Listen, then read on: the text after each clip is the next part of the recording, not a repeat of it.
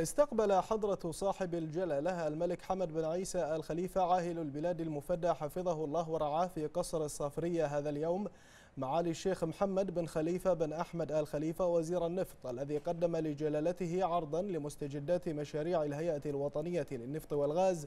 والتي تأتي تنفيذا لتوجيهات جلالته أيده الله في إطار تعزيز مصادر الدخل الوطني من بينها مشروع خط الأنابيب الجديد الرابط بين مملكة البحرين والمملكة العربية السعودية الشقيقة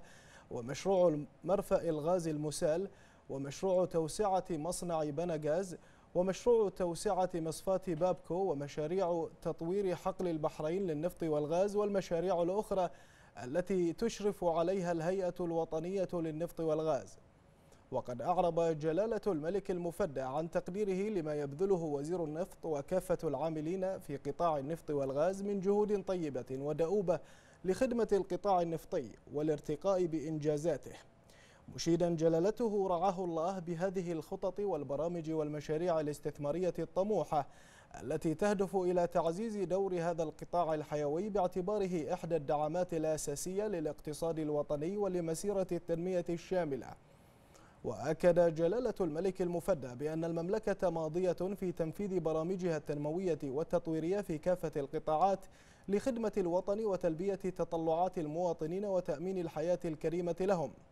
وأشاد جلالة العاهل المفدى بالإنجازات الرائدة التي تحققها مملكة البحرين في شتى المجالات بفضل سواعد وجهود أبنائها المخلصين متمنيا لوزير النفط التوفيق في جهوده لتطوير الصناعة النفطية في المملكة. من جانبه رفع وزير النفط معالي الشيخ محمد بن خليفة بن أحمد الخليفة أسمى آيات الشكر والامتنان والتقدير إلى حضرة صاحب الجلالة على توجيهات جلالته السامية ودعمه اللامحدود لقطاع النفط والغاز